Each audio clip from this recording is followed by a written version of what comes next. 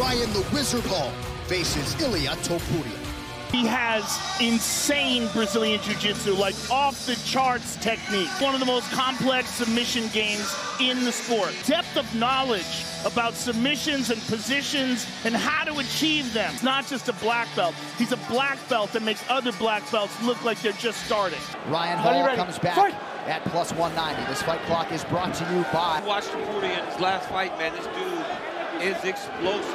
And oh, it's very difficult to look good. Diving on your legs and ripping your knees apart. It's not a brute force thing. If you look at the guy's body, he's a huh. strong man. He's a wizard of technique. One of the most intelligent guys. When you listen to him talk, the man's absolutely brilliant. His ideas about strategy. The betting favorite. That's how good. No one wants this fight. No one wants to fight Ryan Hall. Right. I'm dead.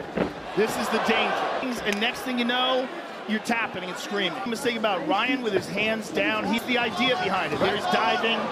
It's wild because it works. And again, trained by Firas Zahabi. Strategy to handle. Like, look at what he's doing here. This trying is to grab him, right? Oh, he's, he's got, trying to grab him. Got his wrist. right. Where you had grapplers that did things like that to get you to the ground. This is it. Oh, he's in trouble. Topuria's in trouble now. Oh, oh he's tagging him. Topuria's tagging him. a little bit of trouble, but Topuria was up. Oh, he hurt Ilia can just keep doing this, though. Throw it. Look at this. He's trying to lock up a heel hook. Roll type situation. It's, I but, mean, it's actually great. I'm just glad Joe approached the legs. See, look, he's so comfortable in there. Punch, right? Like when he does this. Like, look at this. Like he just falls down. Oh, there nice, it is. Nice hammer. Oh, big hammer fist by Topuria. There it is. Big shot. Oh, big he shot.